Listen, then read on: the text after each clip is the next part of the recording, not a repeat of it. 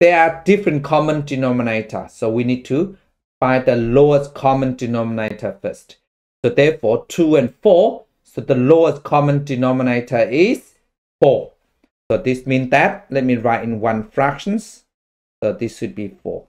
So from 2 to 4, I times 2. So therefore the top must time by 2. So because the whole lot times 2, so I put the bracket, I put 2 in front. Keep that in mind. So let me just write this out. So that means 2 bracket x plus 1. And from 4 to 4, I times 1. This is time 1.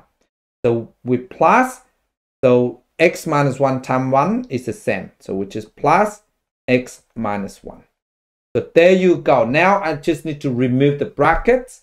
So that is equal to 2 times x is 2x.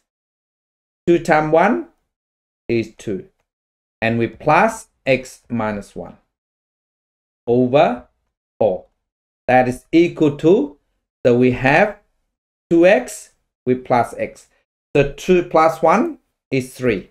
So the answer is 3x. And we have 2 minus 1. So 2 minus 1 is 1. So the answer is plus 1 over 4. So there you go.